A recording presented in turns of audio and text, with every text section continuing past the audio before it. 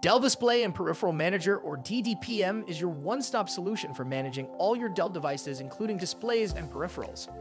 DDPM is simple to navigate, easy to use, and easy to set up. It enhances your experience by enabling you to customize how you interact with your devices. To install DDPM, visit dell.com slash support slash DDPM. Click download and follow the installation steps. If you are an existing user of Dell Display Manager or Dell Peripheral Manager, you can upgrade to DDPM by simply clicking the Update button. After installing DDPM, open the application on the home screen. You will see all your connected Dell devices, including displays and peripherals. If any Dell peripheral isn't detected by DDPM, click the plus icon at the top right corner and follow the on-screen instructions to add a new device. Once you have added all the devices, you can see them all on the home screen.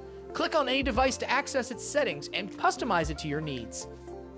DDPM ensures you are always up to date with the latest software and firmware. A notification on the settings icon will alert you when a new update is available.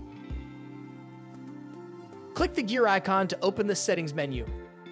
From here, you can manage notifications, view available updates, and provide consent to telemetry under the Analytics section.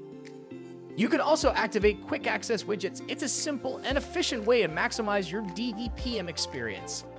Transform your workspace with Dell Display and Peripheral Manager, offering seamless efficiency and personalization. Explore more features in our other videos and elevate your work experience. Download the free software at dell.com slash support slash DDPM and elevate your work today.